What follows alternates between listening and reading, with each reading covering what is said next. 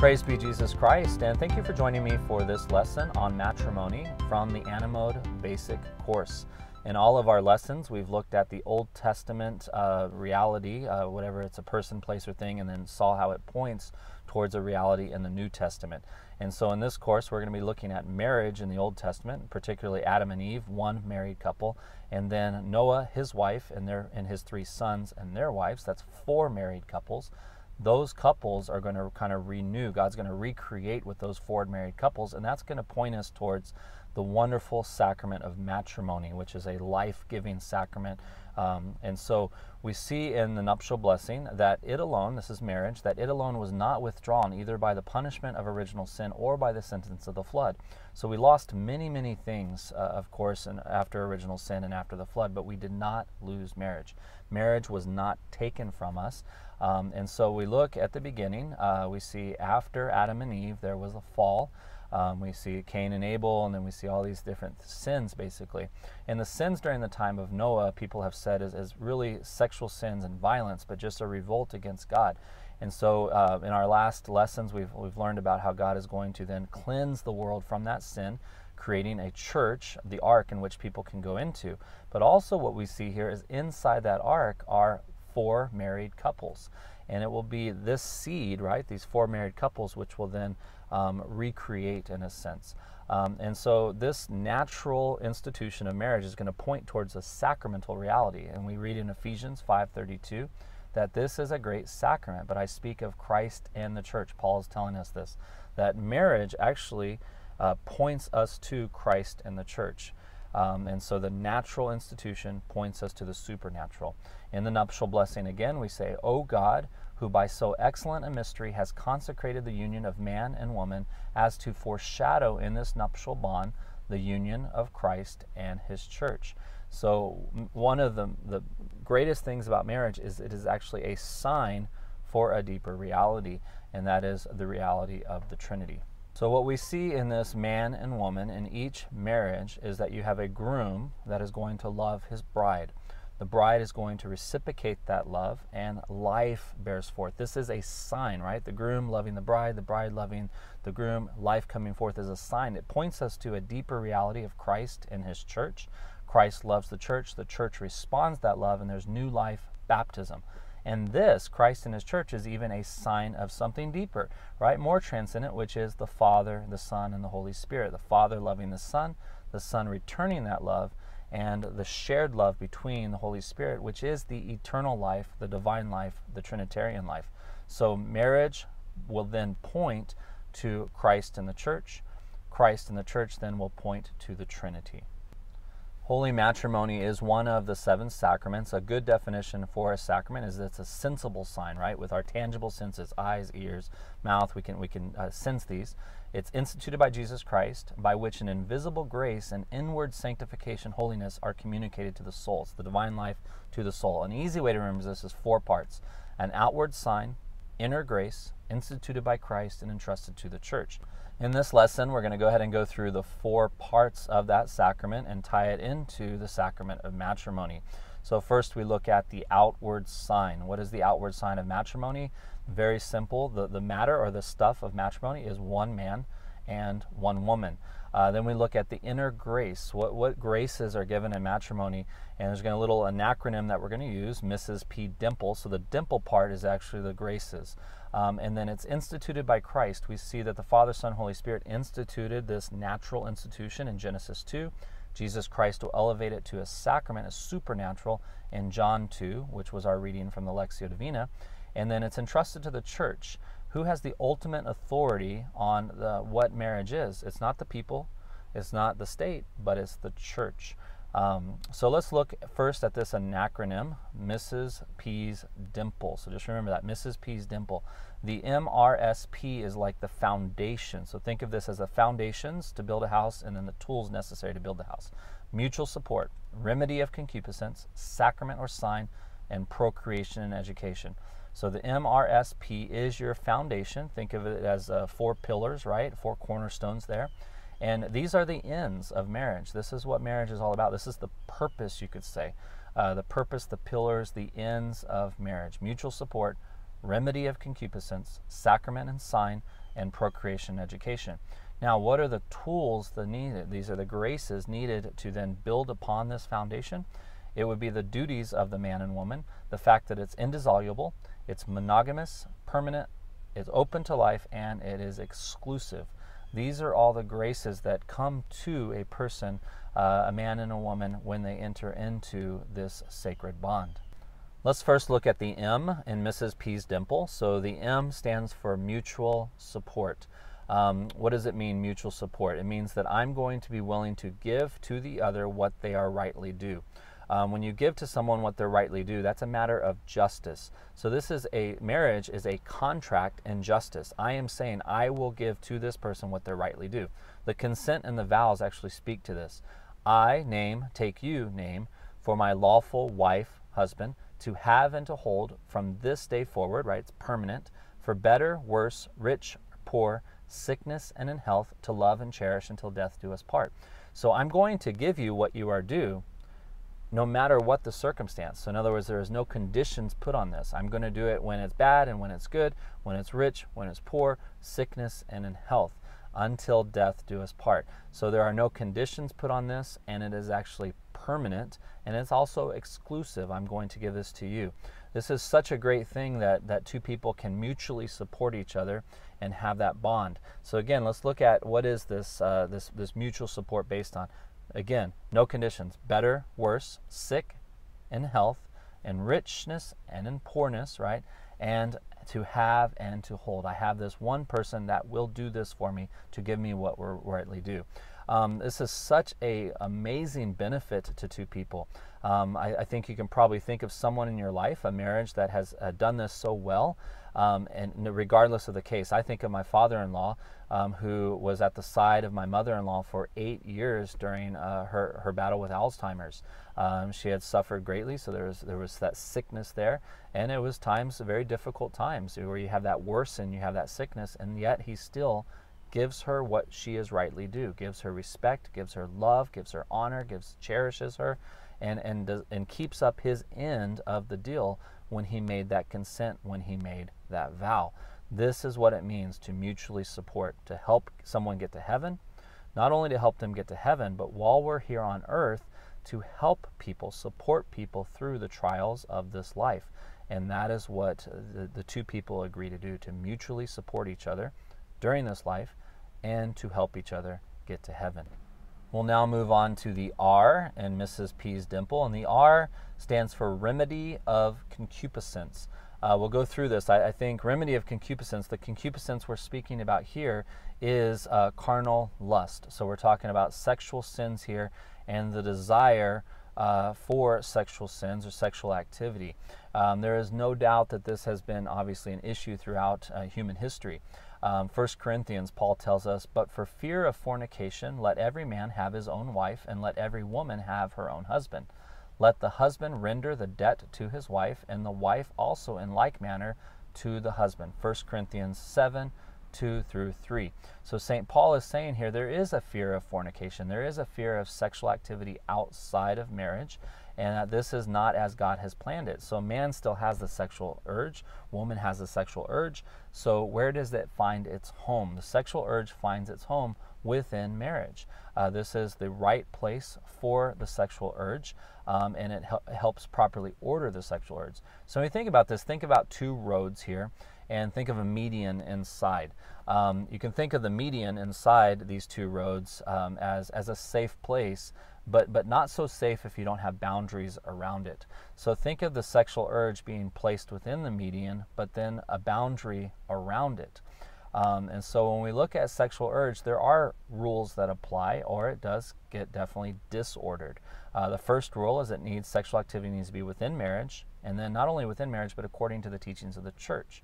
And so we see all these different things outside of that lust, masturbation, fornication, which we just read, pornography, prostitution, rape, homosexual acts, contraception, and then we see also offenses against marriage in general, but usually have to do with sexual act as well adultery, divorce, polygamy, incest, free unions, and trial marriages. Um, so, with all of this, these are these things outside. Um, we already see polygamy entering in in Genesis 4:19. All these things are kind of intruding in on marriage, and so we want to make sure that these things do not come into marriage, and that we don't go out for these things. So, don't bring these sins into the marriage, but also don't go outside of marriage. I think a good analogy here for the sexual urge would be, you know, if, if I have the desire to do a certain thing, I have to do it in the proper way. Um, we would only know the proper way according to, of course, God's will for something. And so we ask, what is God's intention for the sexual act? But think for a, a second if I have a, a desire to uh, hit some golf balls, and you know, I just have this uh, urgent need to hit golf balls. Well, I can't just take a bunch of balls, let's say 50, a basket of 50 golf balls, and go out in my front yard and just start hitting golf balls. I live, I, I live in a neighborhood, so I would break windows. I would, you know, maybe uh, someone, a kid would be riding his bike, and I would hit the kid off the bike.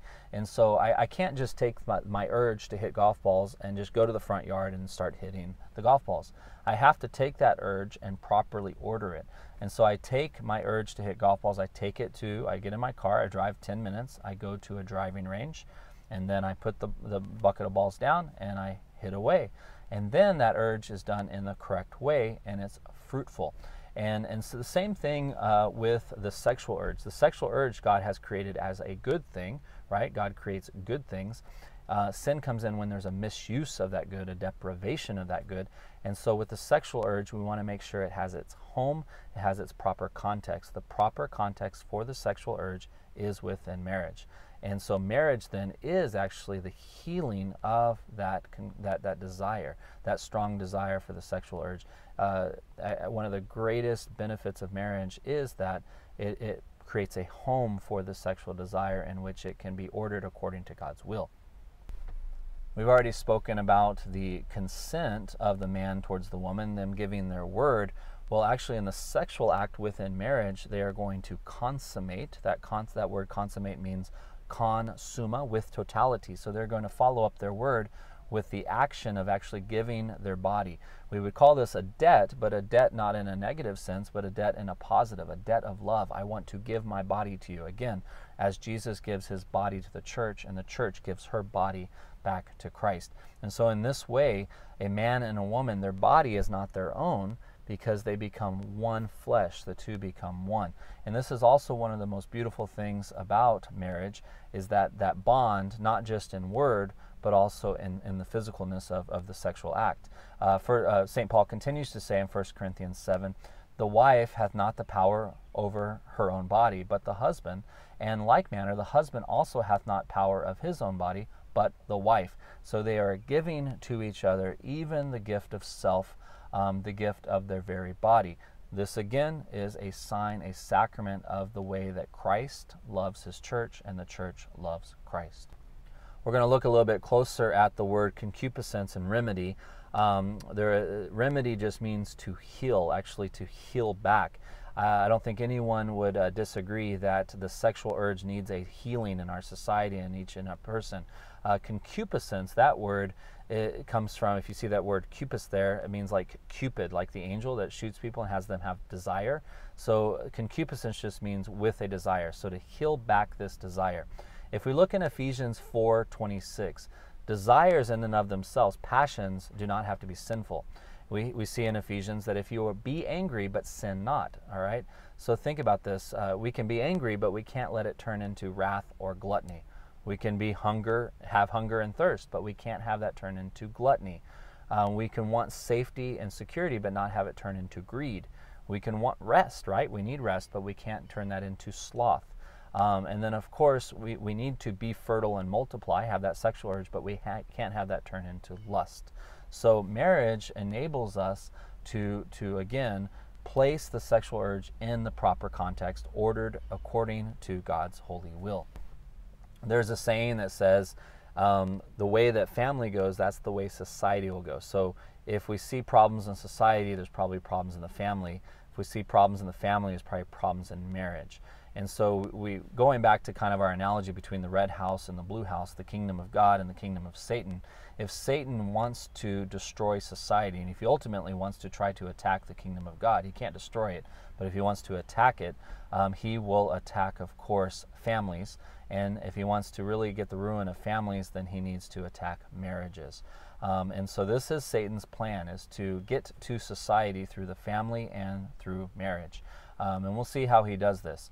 Um, but this is definitely the plan, and we see this. There was a letter from Saint Lucia, I'm sorry, Sister Lucia, who I think is saint now, Sister Lucia from Fatima to Cardinal Caffarra, who was the founder of the JP2 Institute on Marriage and Family. And she said, or she wrote, Father, a time will come when the decisive battle between the kingdom of Christ and Satan will be over marriage and the family. So, this is the decisive battle. This is where Satan is, is, is, is going to attack because this is so precious to God. God is renewing society through marriage. So we look at this, we see that there is a natural institution of marriage. It's going to be real important here to look at the comparison between Genesis 2 and John 2. Genesis 2, John 2, both are new starts. And so uh, we see that in the beginning, Genesis 2, God created the institute of marriage, a natural institution. Jesus is going to take that natural institution and elevate it to a supernatural sacrament in John 2. So Genesis 2, natural. John 2, it's going to be supernatural, the water into the wine. That's what Jesus wants to do. Now, the natural and the supernatural are alike in all ways, except for the fact that in the Mrs. P's dimple, the S stands for sacrament. That is exclusive only to the supernatural. Jesus takes the natural and elevates it to the supernatural. Satan, who mocks Jesus in all things, wants to pollute the water. Where there is mutual support, he wants there to be selfishness. Where there's the remedy of concupiscence, he wants there to be sex, power, and pleasure. Instead of procreation, he wants contraception. Instead of that duty of between man and woman, he wants that to be lie or broken down. Instead of indissolubility, he wants divorce. Instead of monogamy, he wants polygamy. Instead of um, permanence, he wants divorce. Instead of life, he wants contraception. And instead of exclusivity, he wants adultery. We see that the two most common things here are contraception and divorce. The, these are where I think these are the biggest attacks that Satan has against both the natural and the supernatural sacrament of marriage. Again, contraception and divorce. How easily do these two things creep into our, our marriages, creep into our families, and creep into our society? We see this very much. Even these two things have been legalized uh, contraception in the 1930s. Um, and divorce in the 1960s. So, uh, within a, even the last hundred years, uh, Satan has definitely attacked through contraception and through divorce. Satan is also going to attack the very nature of what we see in Genesis 1. So he's attacking the bedrock. He's going to attack the fertility, be fertile and multiply, but he's also going to attack even masculinity and femininity. So when we look back at these scriptures, it's you know Genesis 1:27 and Genesis 1:28, we see Genesis 1:27, and God created man to his own image, to the image of God he created him, male and female he created him. Satan wants to attack that masculinity and femininity. Why? Because male and female are in the image of God. He hates the image of God, and so he attacks the, the image, male and female, of that. He also wants to attack this increase and multiply. God said, increase and multiply, fill the earth. He wants to attack this. He wants to attack this through contraception, through abortion, any way he can. He does not want humanity to increase and multiply. Um, not only did God say this to Adam in Genesis 1:28, but He will reiterate this, right? Um, when He recreates with those four married couples, which we're talking about, Adam or Noah, it will be, and God blessed Noah and his sons and said to them, "Increase and multiply and fill the earth." Is the exact same thing at creation in, in Genesis 1, and then the recreation in Genesis 9 to increase and multiply, fill the earth. Again, these are where Satan is attacking. He's attacking this through contraception, he's attacking this through the attack of masculinity and femininity. We have gone through uh, the M, the R, and the S of the Mrs. part, Mrs. P. So the M again is mutual support. These are the, the ends and the purposes of marriage, right? The mutual support of the couple, the remedy of concupiscence, that the sexual act has a home, and then the sign or the sacrament that Jesus takes a natural institution and elevates it to the supernatural. Now we're going to talk about procreation and education. So that last part, the P, Mrs. P. The P is for procreation and education. Um, again, this is what Satan is attacking. Uh, we see, of course, Genesis 1:28, be fertile and multiply. Again, Genesis 9, be fertile and multiply. Um, with every sexual act, when new life is created, I love this. When, when, when new life is created, there's three gifts that take place. Three gifts for every life.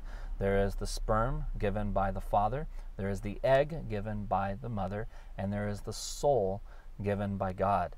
Um, so, everyone listening to this video, you would not be here, I would not be here, unless there was the gift that was given. So, each of us is a gift, but we came from three gifts.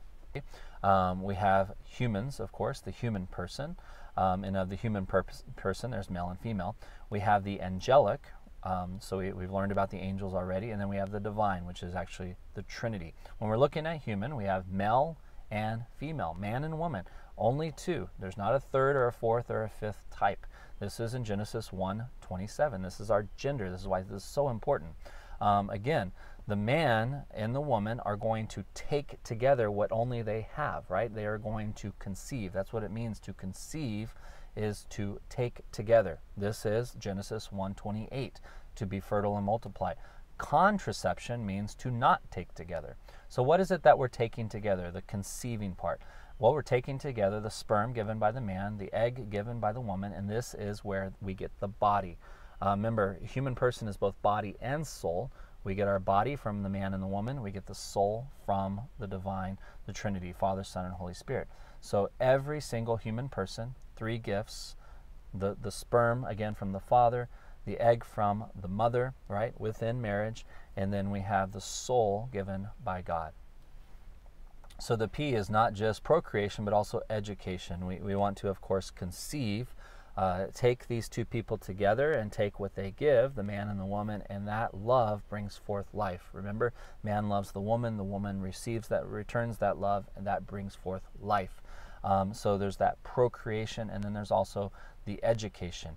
Um, and this, as, as just as the, the sperm and the egg meet within the womb, we're going to see that then the baby, the life will move from the womb to the home. So in this, uh, in, in, marriage, what's so important is that marriage gives, uh, puts a fence in a sense, a, a sense of protection around the womb, but also around the home. And, and what happens in the womb and what happens in the home is life. In the womb is where procreation takes place, and in the home is where education takes place. In the nuptial blessing, we read, May they both, the man and the woman, see their children's children to the third and fourth generation, and may they reach the old age which they desire.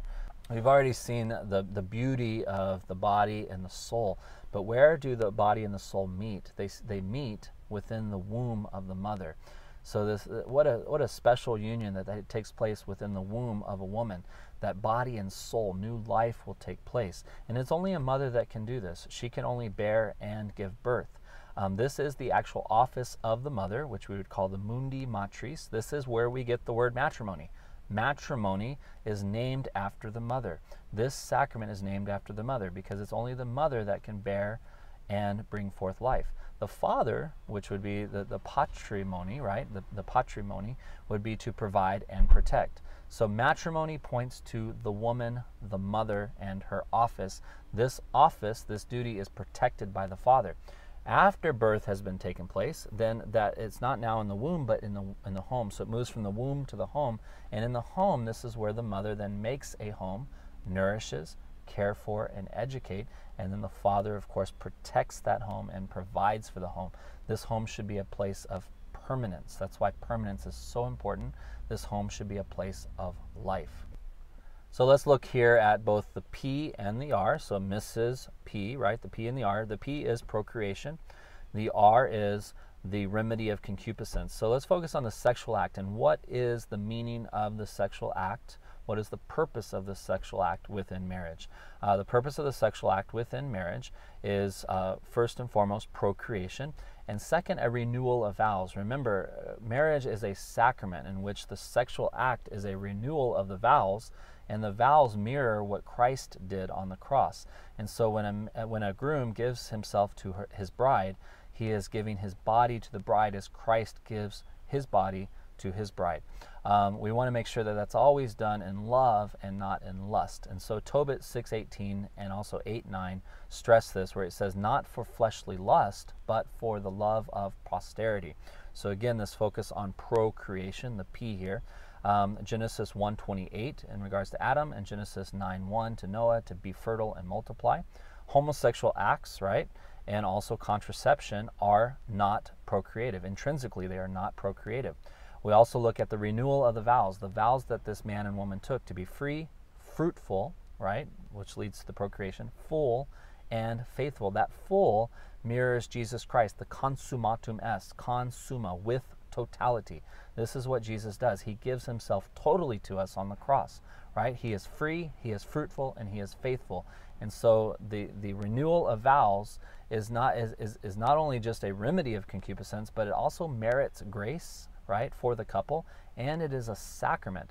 So this is a, a, consolation and pleasure. It's the mutual support. It's a sacrament. It's a remedy, and it's procreative. Marriage is not only the place in which the sexual urge finds a home and finds order, but it's also in which a man and a woman can practice chastity to a heroic degree.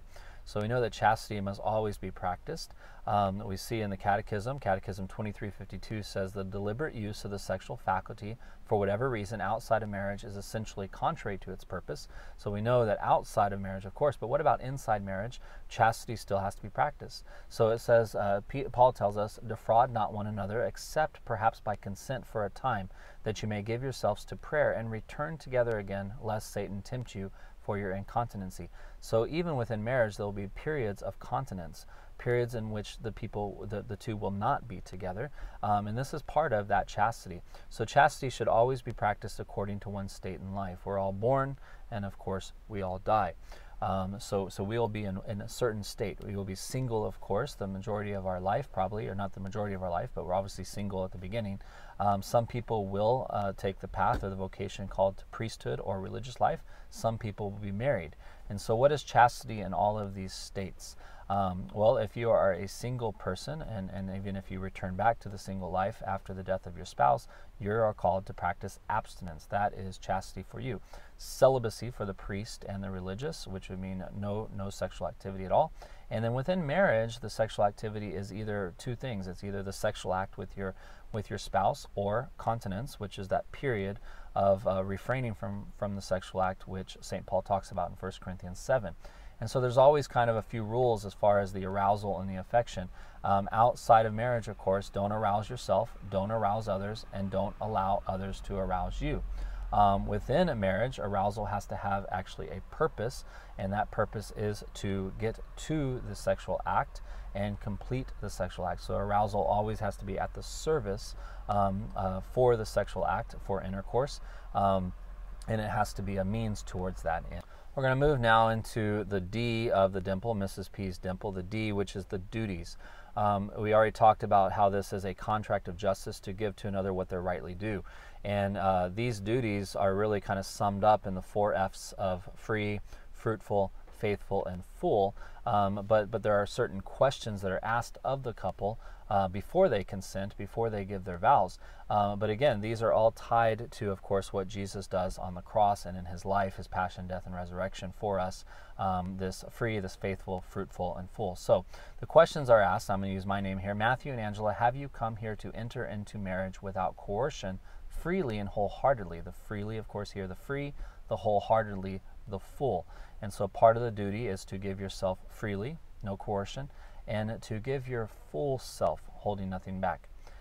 Faithful, are you prepared as you follow the path of marriage to love and honor each other as long as you both shall live? So, this is a sense of faithfulness, you and only you.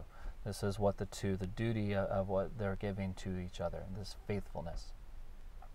Fruitful, the question that's asked here is Are you prepared to accept children lovingly from God and to bring them up according to the law of Christ and His church? To accept children lovingly. This fruitfulness. Of course, Jesus Christ was fruitful um, from His side. We already learned about this, poured forth blood and water, which gave us life. And so we look at these, uh, these questions freely, wholeheartedly, to love, honor as long as you both shall live and then to accept children lovingly from God and then to bring them up according to the law of Christ and His church. How do the how do the four F's uh, tie into these? Of course, freely is the free, wholeheartedly is the full. To love and to honor means I will be faithful to you and I will be fruitful by accepting children from God.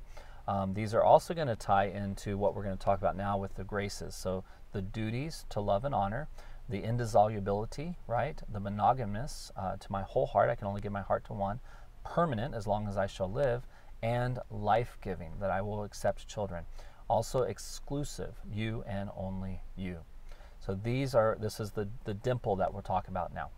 Part of this dimple is, uh, and, and the duties are also six different uh, statements or questions that are asked typically of a couple when they're preparing for marriage. And this is actually the nature and the obligation. Of course, that obligation. What am I obligated to do? This is my duty of justice, this contract that I make. I give my word that I will do this, to give to the other what they're rightly due. And so, this is what, in a sense, someone is signing up for these six things. And these six things are non negotiable. This is what marriage is the nature and obligation. Do you agree to give sacrificially of yourself? Right? Do you agree to share in marital intercourse, right? Because the sexual union is a part of marriage. Do you give your spouse the right to have children? Um, will you make an unconditional, right? Unconditional, permanent commitment to this person to do these things, um, to be faithful to your spouse and to give your consent free and without any force. This is what it means to be married. Um, to not want these things is to not want marriage. Um, this is an act of the will. This is not just wishful thinking. This is an actual act of the will where you give your word.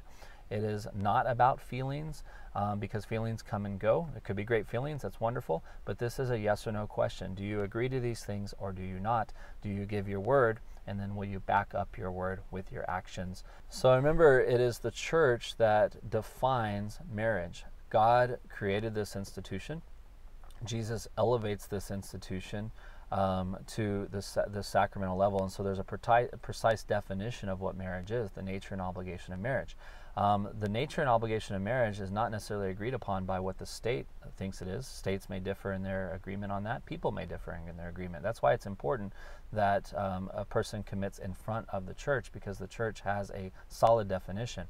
So, for example, if you go to the justice of the peace, the justice of the peace may say something like this You have agreed to live together as husband and wife and have pledged your faith in one another. By agreeing to these vows, and exchanging rings. Now, by the authority vested in me in the state of Texas, I pronounce you husband and wife. Okay, but what is meant by you have agreed? Um, and who's going to hold you to that agreement, for instance?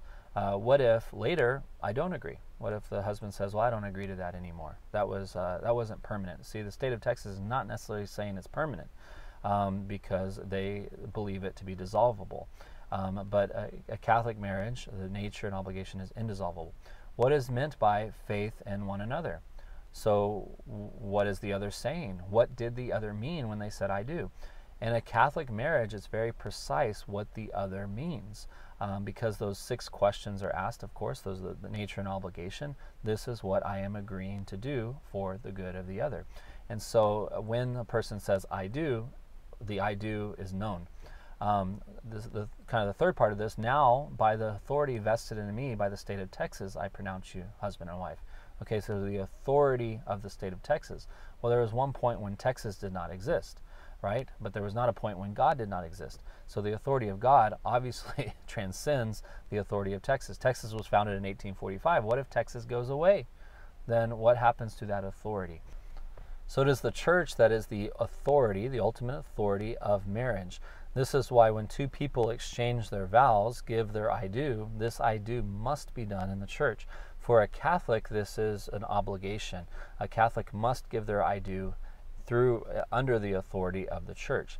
If a Catholic, a baptized uh, Catholic, whether it's two baptized Catholics or even one of the parties is Catholic, if they do this outside of the church, it is not a valid marriage because a state or even two people don't have the authority to recognize that um, marriage. And so it must be, of course, recognized by the church.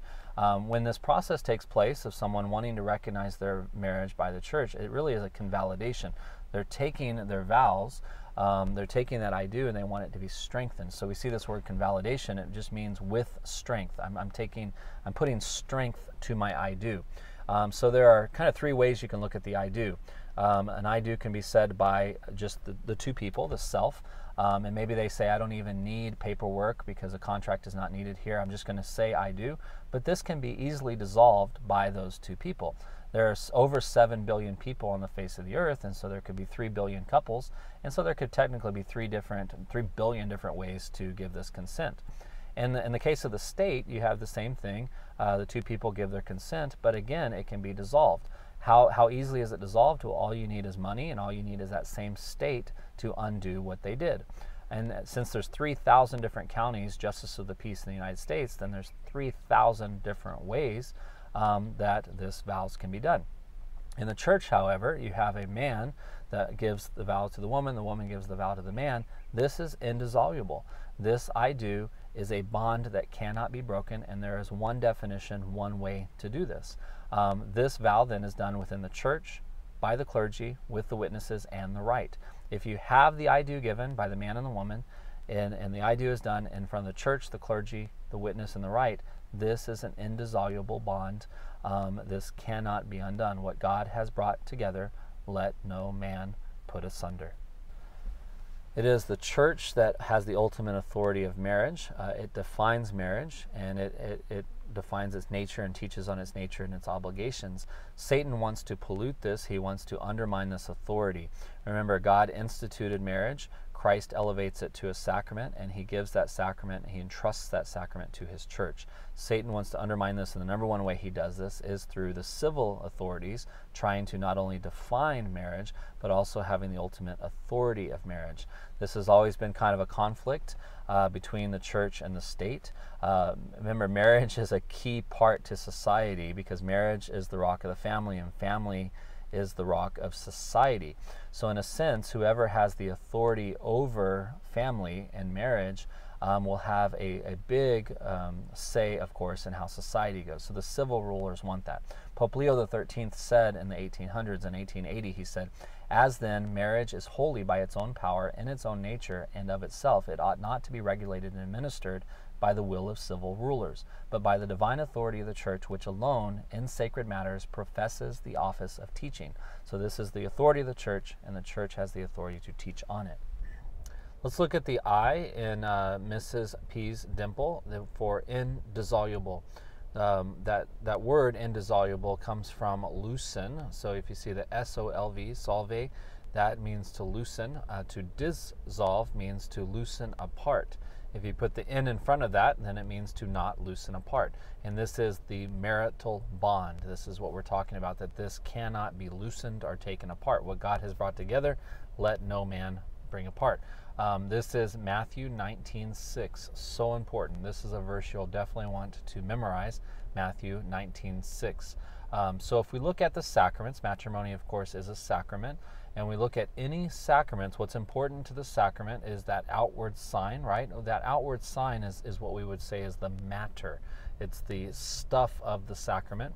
Um, and then we have the actual words that are used, which is the formula. We use that short for form. So we say form and matter. Form is just short for formula or the words, and then the matter, which is the sensible sign, uh, the stuff of the sacrament. So let's take a few of these. Baptism, for instance. What is the matter or the stuff used in baptism? Particularly, water has to be used. What is the form, the words in the name of the Father and of the Son and of the Holy Spirit? So, if you have the right words, which is the Trinitarian formula, right? If you have the right words plus the right matter, you have a valid sacrament. That means if that took place, both form and matter, you are validly baptized and you will always be validly baptized. Let's take another sacrament, the Eucharist. Uh, what is the stuff, the, the matter that has to be used? Bread and wine. Um, what are the words that must be spoken? It must be spoken by a validly ordained priest, and the words must be the Eucharistic prayer, particularly the consecration, right? This is my body, this is my blood. The correct words, which are instituted by Christ. Um, and then now let's take a look at matrimony, the form and the matter of matrimony. The stuff is, is very simple. It's one man and one woman. This is why we cannot have same sex unions. This is why we cannot have polygamy. So, this fact alone, that there has to be the right matter, with a matrimony um, is, is, against, of course, same sex unions and also against polygamy. So one man, one woman.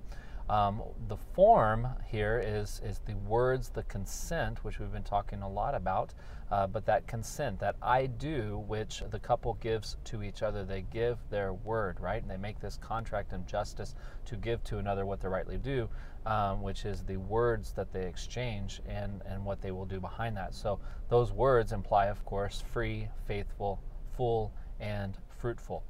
So we'll look at this from another aspect of the bottom circle being the matter of marriage, and then the top two circles here being the form of marriage.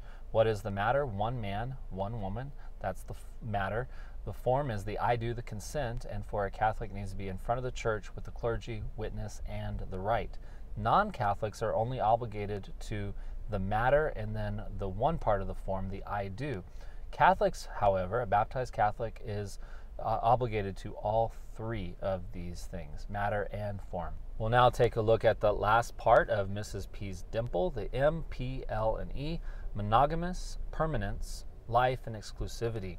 Uh, we've already taken a look at the great graces of the duties that a man and woman have and also the indissolubility. And now we'll look again at the monogamous, permanent, life, and exclusivity and what these mean. Monogamous simply, of course, means one man and one woman. That man and woman until death, open to life and not preventing life, and that they say to each other, You and only you. Satan, of course, hates these four, and so he will attack it with polygamy. He will also attack it with same sex unions. Both go against the monogamous nature of marriage. He will attack the permanence by divorce. This is prevalent in the 1960s and on, and trial marriages and cohabitation. Of course, at life, he is going to attack that with contraception mentality and abortion, which we see in the 1930s and 1970s. And then exclusivity, he's going to attack with the sin of adultery, both physical and emotional. In the area of uh, life, I want to look at a little bit at what the church teaches on this because it's so important. If you look at the Catechism of the Catholic Church on this section on contraception, it will point you to Humanae Vitae, uh, Humanae Vitae, particularly section 14. If you look at the Humanae Vitae 14, it'll give you a lot of different references from the church, but one we're going to look at is the Roman Catechism, which is from the time of Trent. Um, and so I want to look at two of these particular. Pope Paul VI in 1968 writes in his encyclical Humanae Vitae, similarly excluded is any action which either before, at the moment of, or after sexual intercourse is specifically intended to prevent procreation, whether as an end or as a means. So we are not able to prevent procreation. The Roman Catechism says in even stronger words, and therefore married persons who, to prevent contraception or procure an abortion, have recourse to medicine are guilty of a most heinous crime, nothing less than wicked conspiracy to commit murder. Let's just praise Jesus Christ for this wonderful sacrament of matrimony, which God instituted in Genesis 2, Christ elevates in John 2, and that this sacrament has now been entrusted to the church. This sacrament is so important to the salvation of souls. Not only important for procreation, new life, but also for the salvation of souls. And this is, of course, this sacrament is a sign of the deeper reality of Christ and the church, which is obviously pointing us to the Trinitarian life. So, again, remember you have this family, the groom and the bride, that point us to Christ and the church, and that new life, the sacramental life, the life of grace, which points us to the Trinitarian life. Um, the Father, the Son, and the Holy Spirit, and that eternal life that they have, which they offer us.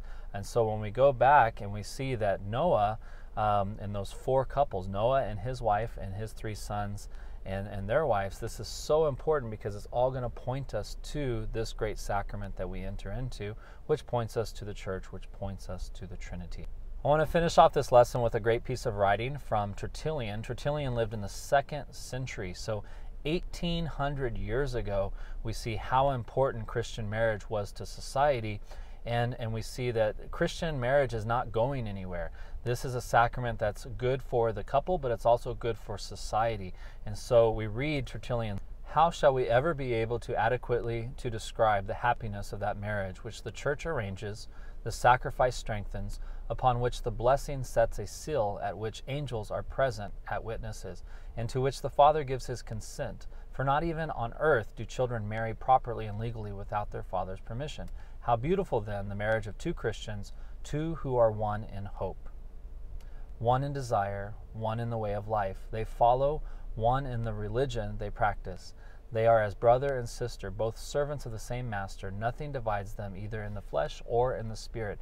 They are in very truth two in one flesh. And where there is but one flesh, there is also but one spirit. They pray together, they worship together, they fast together, instructing one another, encouraging one another, strengthening one another. Side by side, they visit God's church and partake of God's banquet. Side by side, they face difficulties and persecution, share their consolations. They have no secrets from one another. They never shun each other's company. They never bring sorrow to each other's hearts. Unembarrassed, they visit the sick and assist the needy. They give alms without anxiety. They attend the sacrifice without difficulty. They perform their daily exercises of piety without hindrance. They need not be furtive about making the sign of the cross, nor timorous in greeting the brethren, nor silent in asking a blessing of God. Psalms and hymns they sing to one another, striving to see which one of them will chant more beautifully the praises of their Lord. Hearing and seeing this, Christ rejoices. To such as these he gives his peace. Where there are two together, there also he is present, and where he is, there evil is not. Thank you for joining me for this very important lesson on the sacrament of matrimony. Um, please uh, continue to take the time to watch the rest of these lessons and enjoy the ANAMoDE course. In the name of the Father, and of the Son, and of the Holy Spirit,